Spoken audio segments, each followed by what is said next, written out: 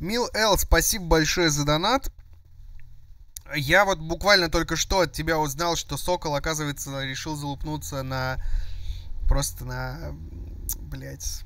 Самого крутого в мире человека, на теле Линдемана. И... Ну, жалко, что вот мое вот это, блядь, не попало на запись, потому что... Ну, типа, один факт того, что Сокол вообще, в принципе, как бы... Ну, как... Это даже не знаю, с чем можно сравнить. Типа, вот Сокол рассуждает про Тиля Линдемана. Это как для меня, как для человека, который вообще пришел в метал-музыку через Рамштайн, и который любит эту группу, и которому нравится тембр Тили, и, типа, я не знаю, блядь, это как, блядь, ну, как Моисей Великанов, который реакции свои снимает на великих. Ладно. Короче, давайте посмотрим просто Блять, что, что посмел пиздануть? Истинный маг. Всем привет, меня зовут Сокол, Истинный маг. Ты находишься на канале Истинный маг сегодня. Истинный дурак, блять. Чуваки, нахуй, подписывайтесь на основной канал все. Ждите, скоро будет трек говниды. Я, ладно, так и быть, заспойлерю. В нем чуть-чуть будет, короче, истинного мага. Немножечко в нем самую вот малость, такую вот щепоточку чего-то связанного с истинным магом там будет. У нас на обзоре будет, наверное, какое-то безумие. Я не знаю, еще не смотрел ничего. Клип э, известного певца, лидермана, которого я терпеть не могу. Блять, как хуево произнес фамилию, во-первых, а во-вторых, еще Блять, терпеть он не может, ёб твою мать. Гу, старого извращенца из, как сказал бы я в детстве, из Немеции, да, из Германии. Буквально недавно, ну как недавно, в апреле, вышел клип, в котором он спел советскую песню «Любимый город». Это, я так полагаю... Охуенно спел, кстати. Да, это отдельно Тамштайн, отдельно его проектики. В общем, человек постоянно, который эпатирует еще что-то, я боялся уже включать, включил «Любимый город», там все кошерненько, стоит спокойно, военную патриотическую песню поет, на любимом городе стоит без всяких извращений, без всяких траханий на камеру, без всяких цел...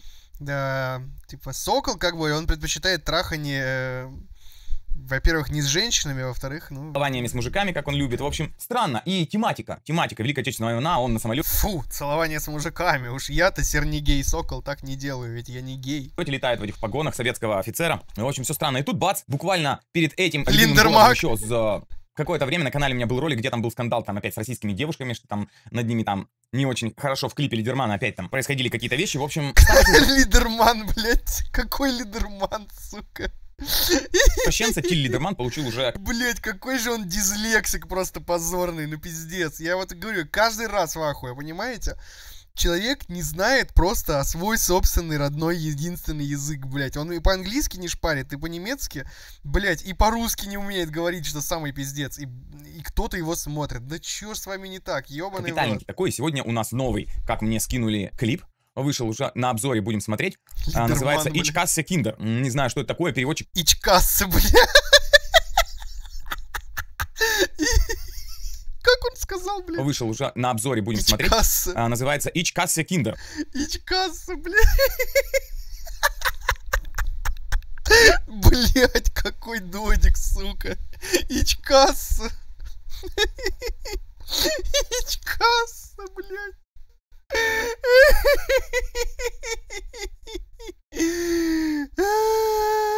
Очкастый киндер, блядь.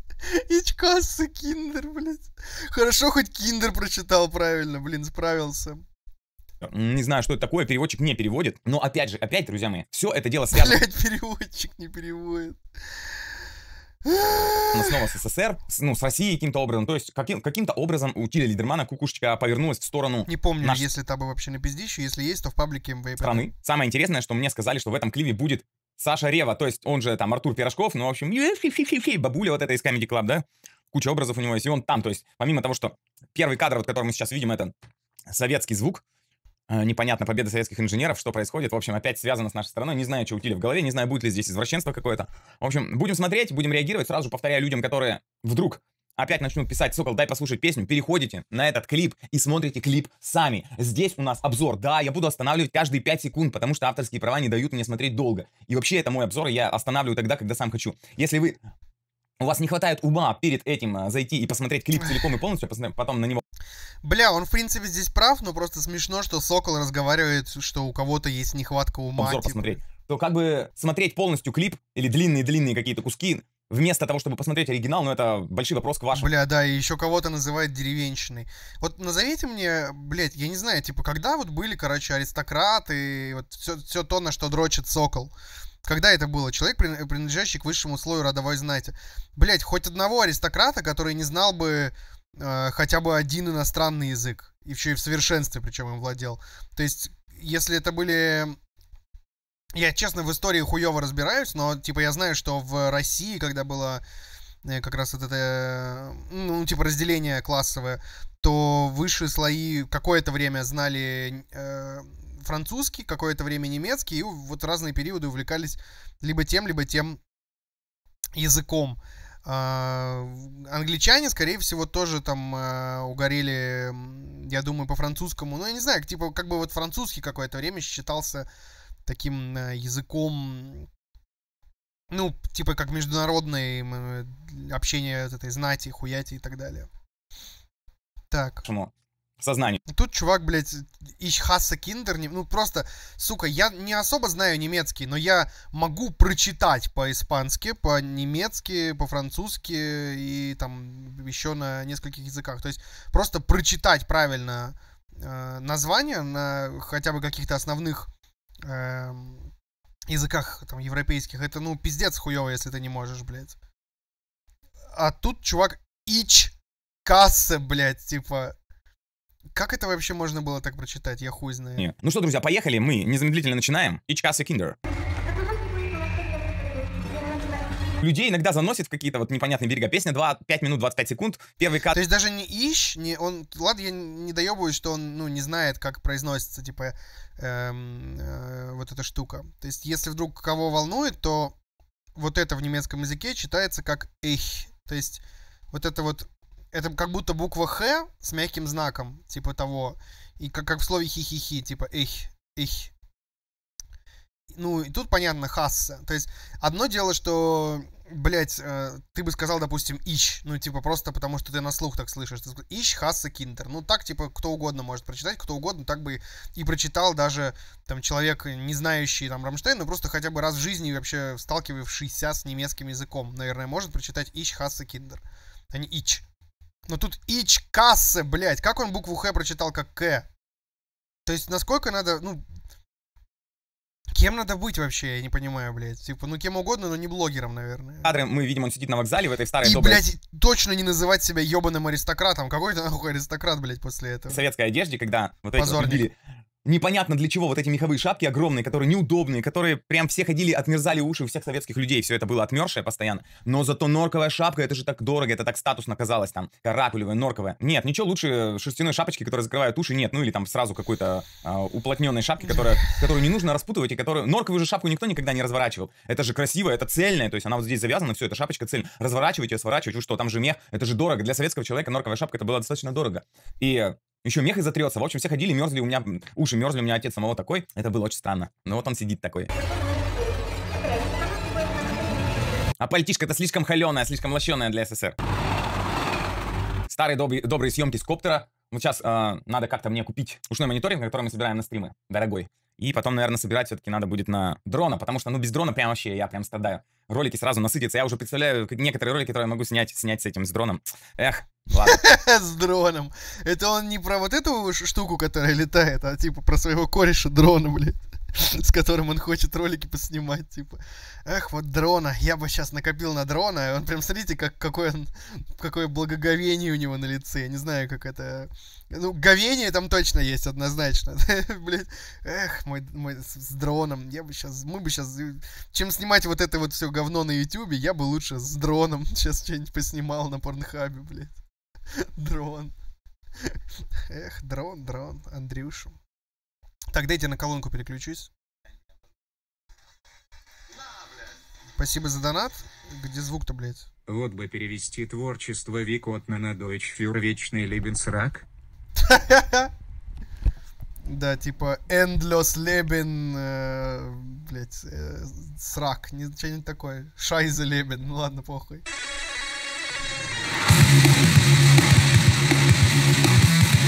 Так, э, первоначальные кадры нам сразу же дают понять, что Лидерман и вот этот вот, ну, герой Лидерман, блядь, уебан ты, сука, нахуй. Лидермана и вот этот вот маленький мальчик, это одно и то И он потом еще возмущается, когда кто-то, э, типа, его называет там кокол или...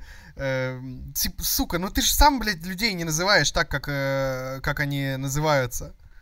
Типа, ну и все, ты тогда истинный маг или, блядь, истинный дурак. Э, истинный, блядь, дилдак, хуй знает, все что угодно, блядь. тоже лицо, только Истинный рак.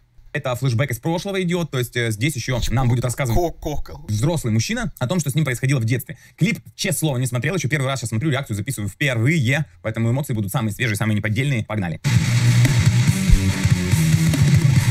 Старая добрая сумасшедшенка Лидермана вернулась. Я вообще, честно говоря, удивлен, когда в этом городе, клипе э, на советскую вот эту песню, я вообще удивлен, что там никакого извращенства не было. Прям спокойно человек пропел все это, как бы. Я чувствую, что то ли пиар-менеджеры у него, то ли кто поработали, типа, э, типа, Тиль, Тиль, Тиль, Тиль, спокойно, спокойно, давайте эти фалоимитаторы уберем, пожалуйста, давай. А, уберите ключи от кладовки кто-нибудь, заприте члены эти резиновые, там, ну, ключи, там, баба Валя, э, сядьте прямо на стуле у двери, чтобы Тиль туда не пролез. И все. И Тиль Лидермана заставили просто спокойно спеть эту песню без всякой херни извращенской, и он ее спел. И получилось даже неплохо. Мне Блять, да никто его не заставлял стопудово. Он, во-первых, сам проявил инициативу это спеть, насколько я помню.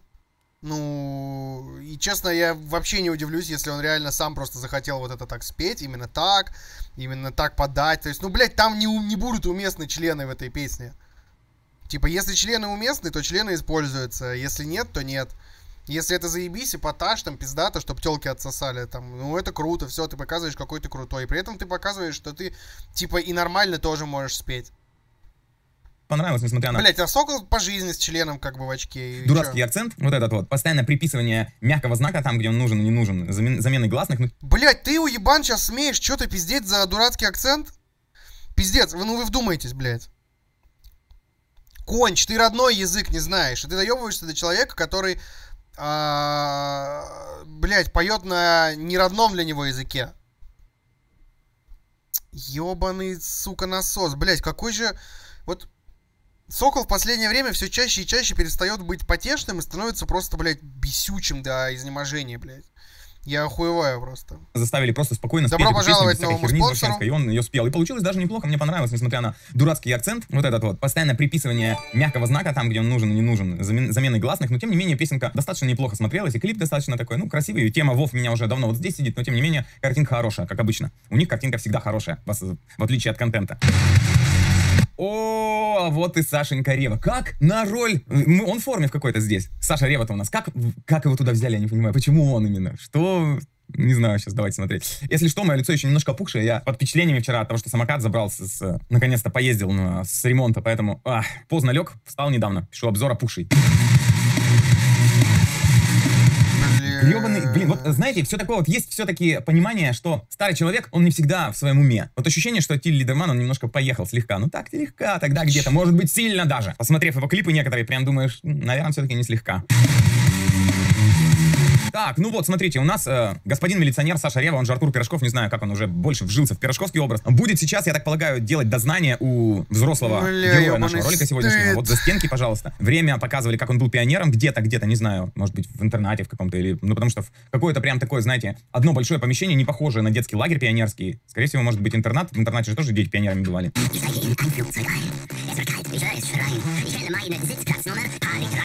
О, вот эти парты, вот эти парты меня прям раздражали. Я когда был, я же рос и учился еще в советское время, то есть лет до, не знаю, до 8 или до скольки там, ну, до 11 лет так официально, но про- изменения стали происходить гораздо раньше, когда еще Советский Союз как бы номинально еще есть, но уже вот какие-то телодвижения более современную сторону начали уже на, до 91 года происходить, и в школе как раз вот я вот за этими как раз партами сидел. Это, блин, надо где-то найти же этот старый кабинет вот с этими партами, я прям удивлен. Они прям вот выглядят именно так. Вот эта вот краска слезшая, в несколько слоев покрашенная, с подтеками, вот эта парта наклоненная, и вот эти вот жуткие с щелями вот эта вот э, доска, которая вот здесь идет, она откидывается, когда ты встаешь, и обратно убирается. И там такая щель между ней. И когда ты пишешь, ты должен писать повыше. Если ты будешь писать на этой щели, есть большая вероятность, что у тебя ручкой будет она продавливаться. В общем, парта не очень удобная, вообще неудобная, мне никогда не нравилась. Она еще наклон вот этот дурацкий постоянный. Ну, в общем,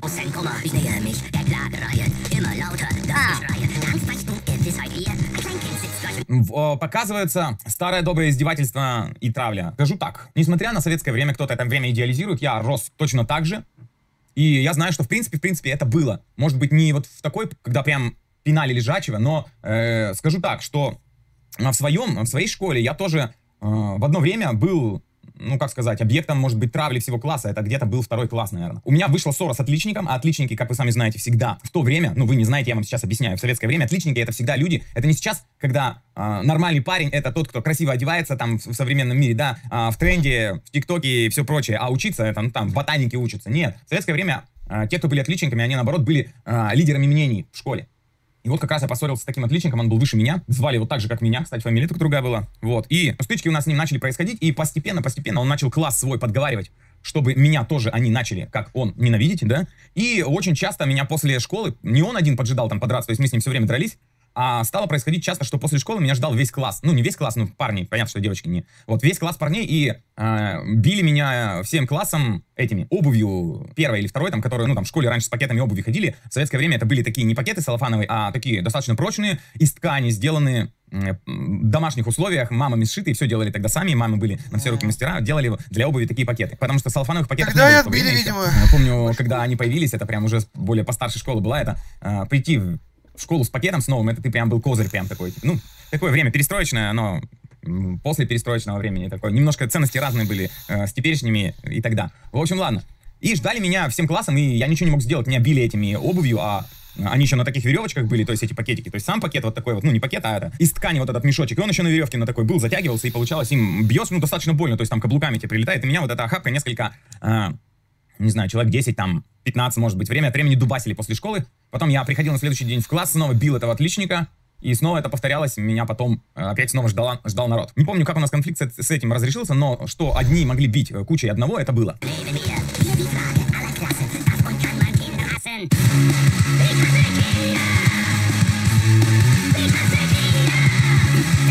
А, вот что происходит. Смотрите, все детство над ним издевались, над ним издевались. И вырос, когда наш герой вырос, он пошел убивать своих обидчиков, тоже выросших. Моральная подоплека, конечно, она есть, но это не за издевательство в школе. Убивать, это, конечно, моральный вектор тут опять утиля смещен. Самое это главное, что, друзья, нам нужно здесь посмотреть на актерскую игру Саши Реву. Как он здесь сживается в роль. Давайте посмотрим. Это самое главное здесь. Это же наш, родной, наша Баба Яга.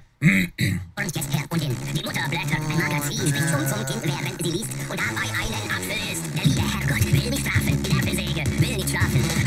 Ну, снято, конечно, здорово, в плане того, что прям кино, то есть вот, э, и выглядит все так прям по-советски в тех времен, то есть стиль, если мы рассматриваем возраст стиля как современного человека, живущего вот в сегодняшнем 21 году, то ему на вид, ну, там, 60 где-то там, может быть, да, там, может, больше.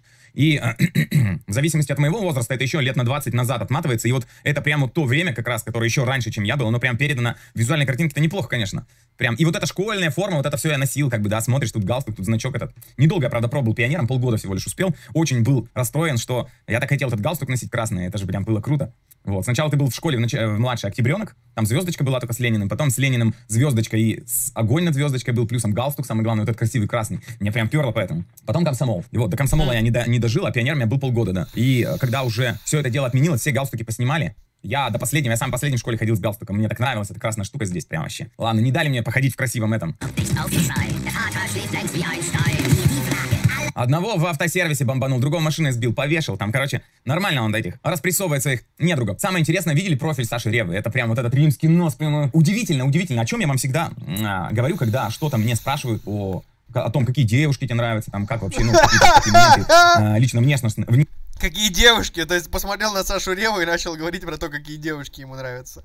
Ну, мы намек поняли, в принципе, окей. внешностные, внешностные, блин, это не выговорю я сегодня. Внешне- Я всегда говорю, что внешность, Блять, она а когда ты можешь что-то выговорить, сокол, ебать? конечно, очень важна, и за собой надо следить, но если у тебя внутри кусок протухшей сардельки вместо стержня, вместо интересного, интересной личности, какого-то богатого внутреннего мира, то вся эта красота рассыпается, и она становится омерзительной. И очень много, часто я вижу людей, которые внешне некрасивые, прямо скажем, некрасивые, начинаешь с ними общаться, и вот эта красота внутренняя из них начинает выходить, она затмевает вот эту внешнюю обложку, и тебе человек даже кажется красивым внешне. Хотя внешне он некрасивый, если вот ты его не знаешь объективно, но пообщавшись с ним, это вот уже пропадает вот это лицо, внешность, это очень важно. И э, о чем я, почему я об этом начал говорить сейчас, это потому что умение перевоплощаться и просто держать себя, подать себя, да, вот у Саши Ревы, конечно, есть, потому что вот Артур Пирожков, с чего началось его вот это вот взлет прям Про девок начал говорить из-за Пирожкова. Ну, все ясно, блядь. Хотел его Пирожков, наверное, там, блядь. с Артура Пирожкова, когда Он придумал образ себе в Comedy Club. Все эти шуточки в КВН, ну все, конечно, было замечательно. Вот э, именно пошел такой прям стремительный взлет а, Саши Рева. Это когда он придумал персонажа Артура Пирожкова, певца, который а, прям обосраться сексуальный такой весь здесь вырез такой, он постоянно, эй, детка. И э, типа подавал себя как красавчика и вел себя, соответственно, как будто он прям... И, честно говоря, из этой мимики он оказался прям, ну такой, типа, знойный мачо. А так вот посмотришь, он, Согреет теплом своих пирожков. он же страшный, реально просто. Вот если отдельно посмотреть, просто Чего фотку взять, он реально же не- некрасивый человек. Но умение вот это вот изнутри достать вот эти нужные эмоции, это прям кардинально меняет восприятие. И это большой, большой внутренний мир у человека, потому что без него Я, конечно, не оценщик мужской красоты, но, по-моему, Рева норм вполне, как так минимум. себя подать ну, невозможно, я считаю. Саша Рева это умеет делать. О, ну тут, ну тут, конечно, прям сильно в прошлое, видимо, скакнул у нас видеоряд, потому что, насколько я помню, в советском времени уже после того, как была вот эта, после хрущевской оттепели, там уже, э, насколько я знаю, застенков таких не было. Брежневская вот это вот застой, э, битье подозреваемых в милиции уже не было. То есть там уже как-то культурилось все это дело, НКВД это все рассосалось, и эти жуть, эту жуть, которая происходила, она, ну, на допросах такого не было. И тут мы видим, что дознаватель, милиционер, в милицейском форме, он даже не в НКВДшной форме сидит, это форма милиционера, он начинает его бить. Такого, такого, конечно, не было, в принципе. Понятно, какой год тогда происходит у нас здесь, в видеоряде. Похуй, это отсылка. Душит э, продавца или повара в карпах. Кому жалко всегда живых карпах в аквариуме, которых продают, чтобы человек их дома Не убил мне и вообще. съел. Ставьте лайк этому видео. Мы с девушкой всегда, когда заходим, у нас всегда трагедия. Потому что чем больше су- существо живое, которое вы убиваете, там, э, тем больше вред вы наносите своей карме. Потому что чем меньше существо, тем менее осознанное оно. То есть менее вред своей карме вы причиняете. То есть, в принципе, убивать любое существо — это вред. Но вред, который вы наносите своей карме, оно зависит именно от разумности существа, которое вы убили. Это тоже один из законов таких, которые, ну, негласных, да, которые мало кто знает. Вот. Поэтому, а там, чем бо- больше рыба, тем она умнее, тем больше Окей, типа убил слона, и это, короче, на самом деле хуже, чем убил человека. животное, тем оно А убил жирафа, это вообще пиздец, блядь. Лучше бы кота. умнее. А, и смотришь на них, и, блин, думаешь, ё-моё, блин, скотобойня только рыбья. Неприятно.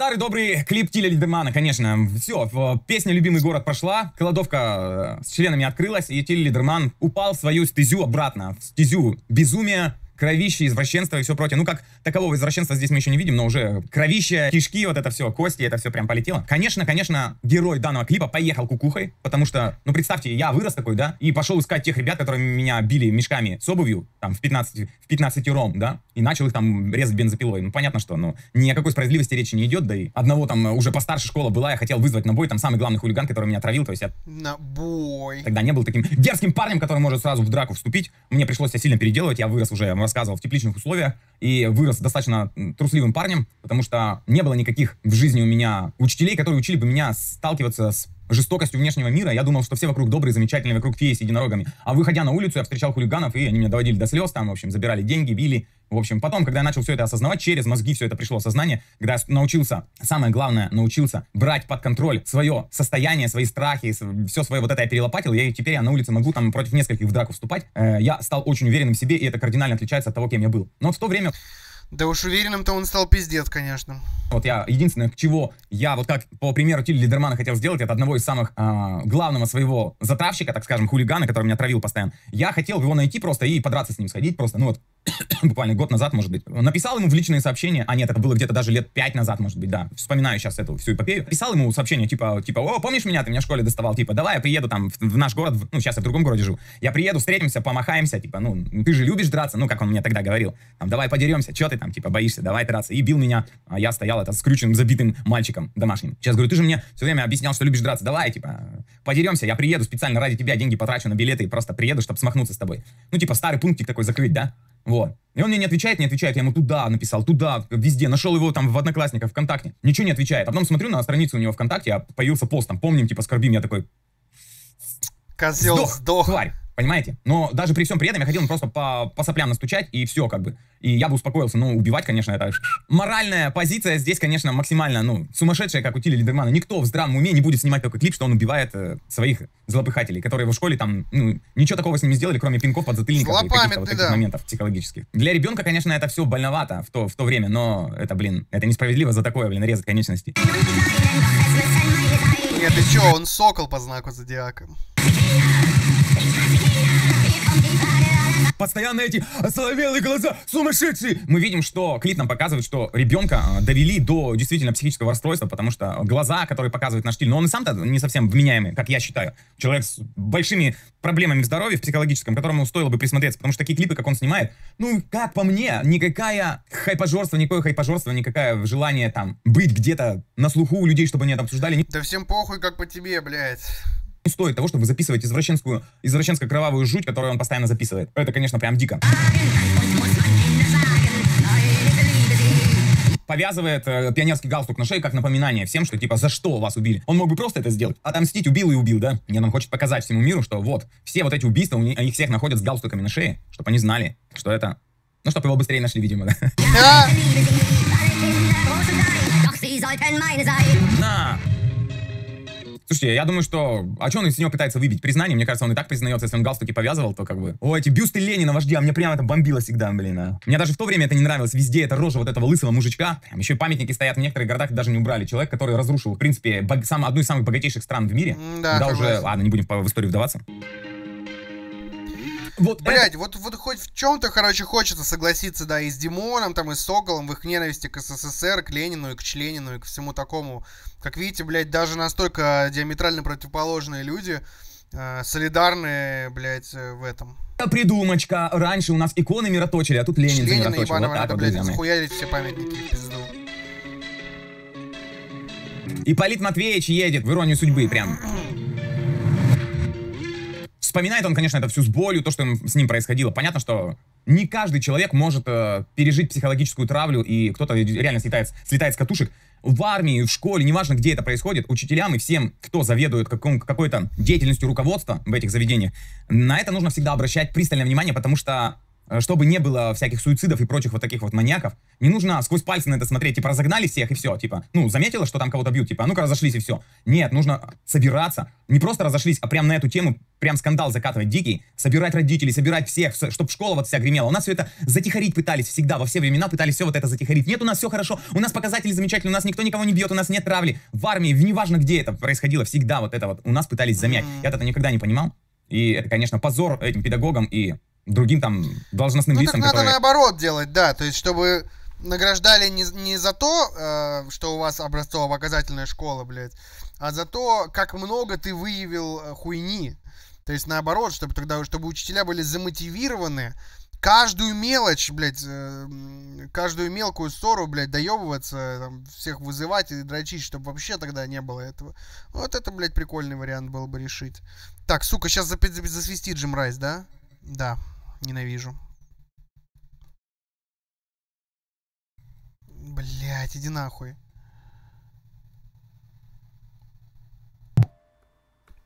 Отвалы произошли. Пиздоблядские. Поехали. э, вот так вот сквозь пальцы на это все смотрят.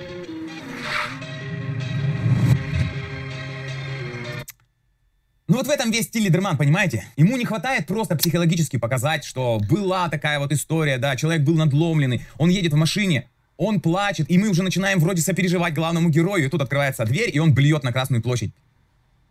И все сопереживание герою сразу же Ну, начинает снова рас- э, уходить. Зачем вот эти натуралистичные кадры показываете? Зачем это нужно? Для чего? Человек не понимает, который делает подобные вещи, он не понимает, что подобными кадрами он ломает структуру всю, вот эту вот психологическую, когда он пытается провести героя через какие-то события и довести его до Блять, он ломает структуру э, восприятия тобой, а ты для него, блядь, не, ты ему нахуй не нужен, ты не целевая аудитория, ты не придешь на концерт, ты, блядь, вообще конч, ебать. И надо, чтобы тебе было как можно более мерзко. То есть, если Линдеман сделал так, что, например, мне охуенно нравится, а Сокола прям вот ему пиздец хуево его коробит, это значит, что он сделал все охуительно максимально. То есть это вообще должно быть как критерий. Если Соколу нравится, значит это полный кал, блядь, все надо переделывать заново и хуйня. Как Чипенкос сказал, Чипенкос так про свою женщину говорил. Типа, если женщине нравится, значит это полная хуйня. Если не нравится, значит это охуительно. Вот тут то же самое, блядь. То, что Соколу не нравится, То, что Сокола это блевотина как-то выбесило. Это не значит, во-первых, что у всех остальных это так работает. Это значит, что только у Сокола и ему подобным, на которых Линдеману срать в три хуя. И это наоборот значит, что все, блядь, охуительно было сделано. Все было максимально правильно сделано, потому что, блядь, хорошо, что он выбесил таких хуесосов, как ты и тебе подобные, долбоеб. наших сердечек, чтобы мы ему начали сопереживать. Ну, нельзя такое делать. Это, ну, это уже отклонение Лидермана, как по мне. Он не понимает такие вещи, что они просто ломают все, всю картину ломают. Лезерман, блядь, still. Бля, реально, может быть, Сокол просто привык как бы к слову Летермен, типа Лезерман, Лезерман. И типа из-за этого называет Лидерман, типа, то есть Летер, типа... Может быть, просто Сокол в данжене запомнил как бы в своем гейском вот это слово и типа решил, что тут такое же.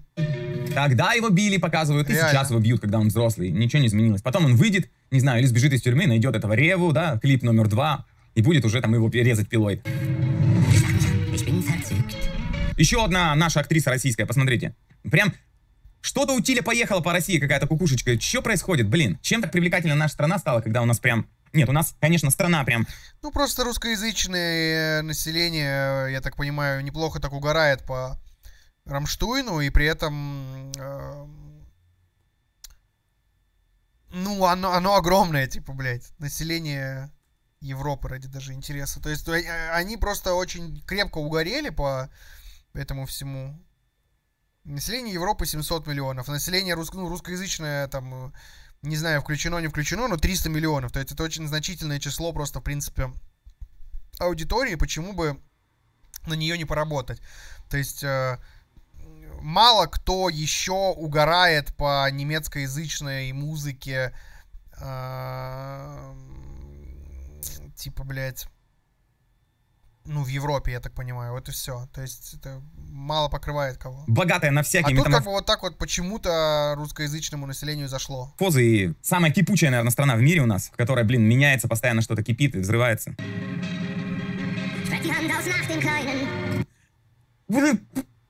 А, прям неприятно. Фу, женщину целует, мерзость какая. Зачем он целует женщину? Отстой. Ну, прям... а, Молодая, красивая российская актриса целуются.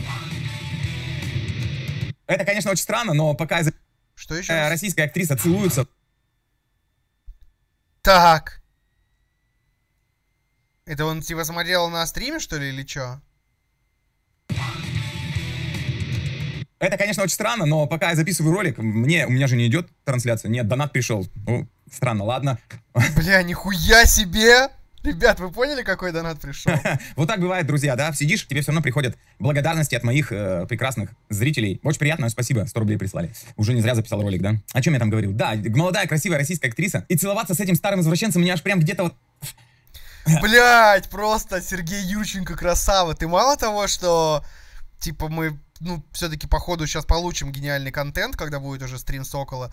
Так, блядь, а, он еще и испортил чуть-чуть ролик Соколу, еще и засветился, бля, охуенно. Понятно, что ей в резюме, э, в ее творческую деятельность, понятно, что Рамштайн группа, которая гремит на весь мир, и затусить в кадре с артистом, с вокалистом этой группы, оно, конечно же, для любой российской актрисы все еще, наверное, что-то значит. Но, блин, целоваться с, с этим челом, который творит подобное, ну, это, не знаю, омерзительно. Не, не- а, а, а, некрасиво. Фу, это хуже, чем расчлененка пилой для меня, я не знаю. Фу, отвратно, с женщиной, в женщиной, женщина с мужчиной. Фу, какая гадость. Что-то неправильное в этом есть. Слюна летит в камеру. Да ё-моё, да Фу, фу, мужики с женщинами сосутся. что за такое продолжение?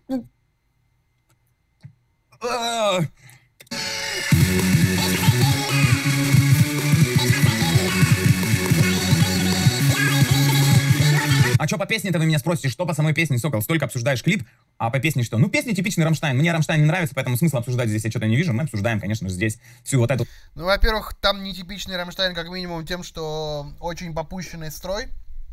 И, типа, в джентуху немножко осовременил с этим самым Линдеман. Ну и... Ну, кроме этого, да, на самом деле, она довольно проходная такая. Ну, хорошая. То есть я люблю Рамштайн, поэтому это заебись, блядь. то вот психологиню, да, и визуалину.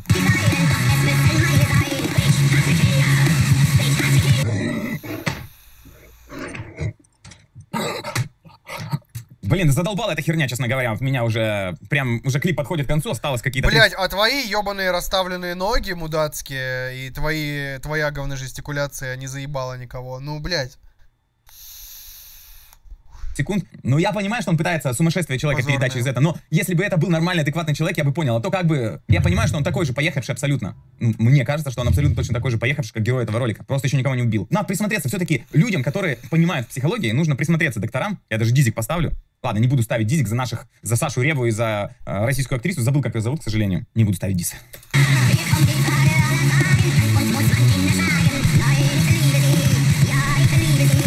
Лет 70, наверное, нет? Сколько ему лет, блин? Я прям, он прям старый выглядит. Стар, старый добрый извращенец, да?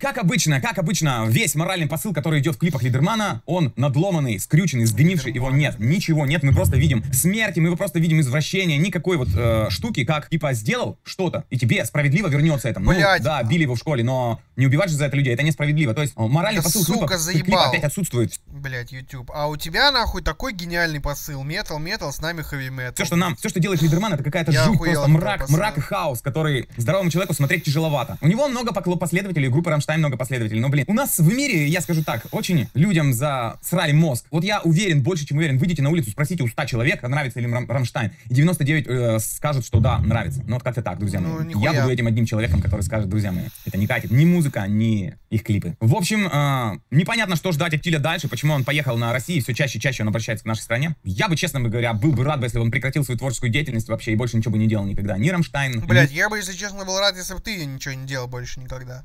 Хотя, наверное, нет, не был бы рад, просто потому что, блядь, ну, должен же быть потешный долбоеб, на- за которого мне донатят, и как бы которого я хуесошу, и за это получаю бабло. И своего отдельного проекта с э, вокалистом Пейн. И, в общем, такой вот обзорчик у нас немножко, может быть, не совсем веселый, но и контентик-то у нас такой подъехал, под который можно очень много задумываться и сказать нашему миру, Да, что у нас не все в блядь. порядке, если у нас популярны вот такие люди и такие клипы. С вами был Сокол и Синемаг, да прибудет с вами сила. Не забывайте, что под каждым роликом есть ссылки в описании, в которых вы можете найти ресурсы, где я как-то задействован. У меня есть фэнтези-книги 4, которые я написал. У меня есть моя музыкальная группа Викон, где я являюсь вокалистом и автором песен. В общем, э, разные-разные ссылочки, все вы можете их найти в описании под каждым роликом. Не забудьте поставить лайк, если думаете точно так же, как я. Это очень важно. И написать свое мнение. Я, как водится, читаю все ваши комменты. Я в светлом ахуе. Милел, спасибо большое, что задонатил. Посмотреть это. Я надеюсь, типа, Сокол как бы щедрую порцию диза все-таки отхватит. Хотя бы, блядь, ну... Ну, она ему ни о чем не, не скажет, ничего не даст. Не, ну, просто, блядь, хочется немножко... Не знаю, блядь. Короче, я надеюсь на одно, что вот моя реакция просто будет чуть-чуть собирать просмотры э, за счет того, что люди будут охуевать, блядь, от ебанутого, блядь, фистинного мага и переходить на сторону, блядь, Моисея Великанова. И, может быть, хоть так мы, типа, отомстим за этот пиздец.